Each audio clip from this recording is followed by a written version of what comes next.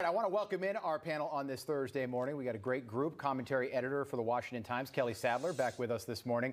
Member of Project 21 and a National Advisory Board member, Christopher Arps is joining us from sunny downtown St. Louis, mm-hmm. Missouri. Once again, I don't know how they do it out there at 5:30 in the morning in St. Louis, Chris, but that sun is always shining.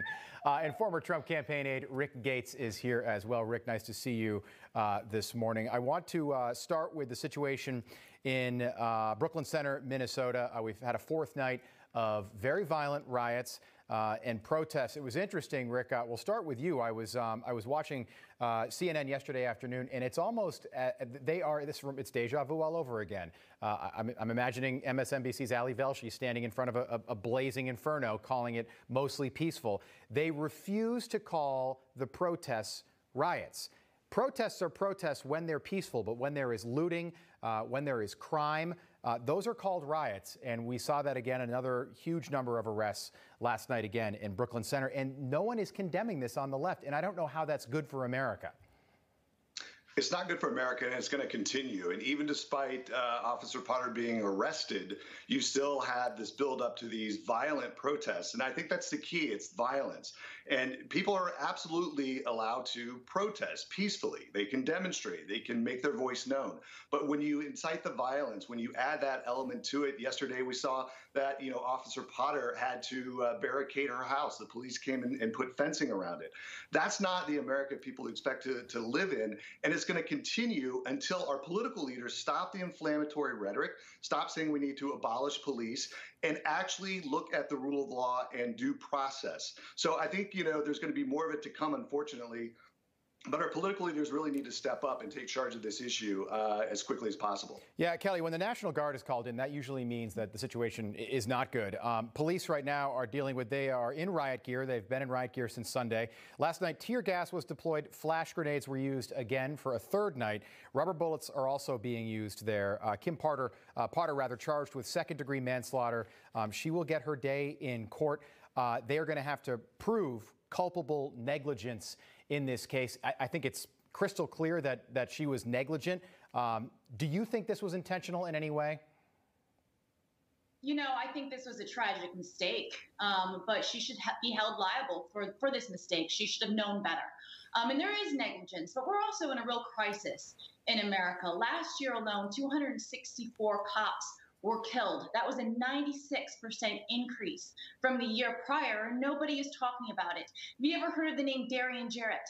Well, he was a police officer that was killed in New Mexico just a month ago, um, doing a routine traffic cop. But the media decides which narratives they're going to pursue, and the media, the mainstream media, is complicit in this. They blow up these local um, scenes um, where every case is individual and has their own specifics, and they try to make it into this race war that cops are bad. And this narrative needs to stop because our men and women in blue are being assaulted at a rate that is higher um, than ever. What was that number, by the way? You mentioned the number of police killed.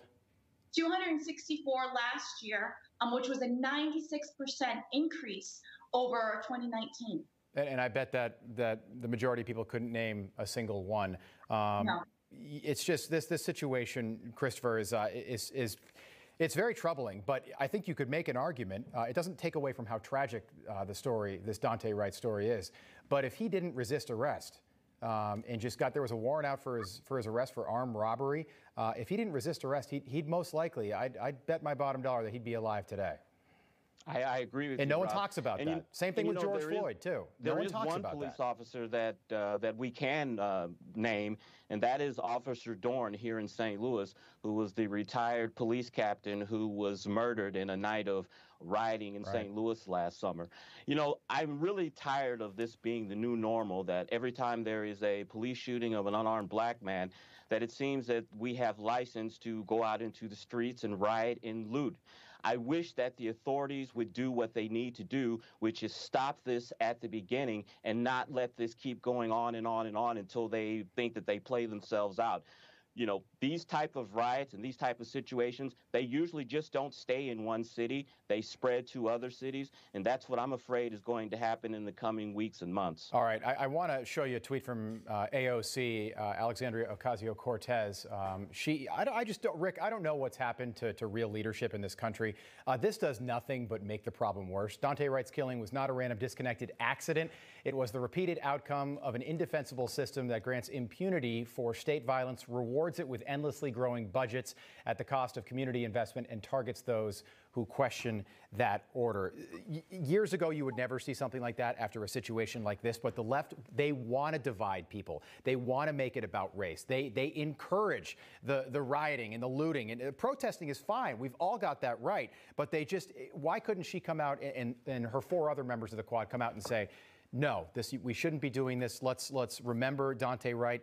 Uh, let's remember George Floyd, but we don't need the violence. Um, this, while we've got we're on the precipice of crises in two different places right now. China could move on Taiwan. And Rick, I know you're well aware of the situation with Russia and Ukraine right now. What's the latest?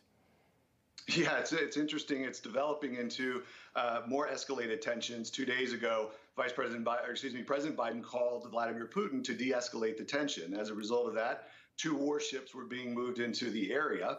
Uh, into the Black Sea, uh, based on, on, the United States, what they were doing. And yet, last night, those ships were pulled uh, from that region. And the U.S. Uh, reasoning is that, well, they weren't sure if they were really going to move those ships there.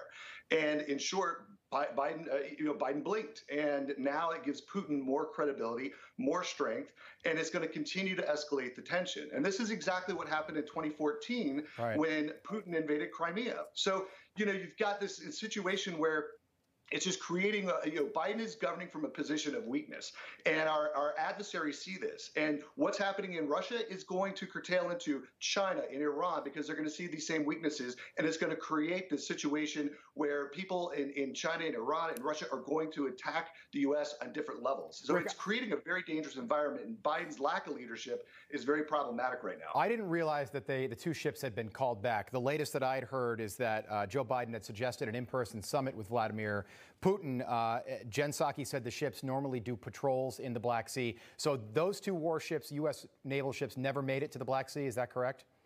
That's correct. Uh, Turkish government officials uh, indicated to the media that the U.S. did not uh, want those ships there. Uh, it's a clear indication. If look, if Biden's going to make that threat, then you need to follow through with it. Now this is get emboldened Putin even more, and now uh, Russia's got about 110,000 troops amassed wow. on 56 locations on the Ukrainian border, and the Ukrainians are panicked. They're in fear uh, because of what happened in 2014. It is real. People thought it wasn't going to happen then. It could happen now, and Putin has got the upper hand at the moment. Yeah, it, it seems, Kelly, like the uh, our adversaries are taking advantage of, of what might be a weak president. I don't know what you thought of his performance yesterday when he was talking about the uh, the troop withdrawal uh, for September 11th, but it, it, it just seems like this is all happening very quickly. He's been in office for less than 80 days now.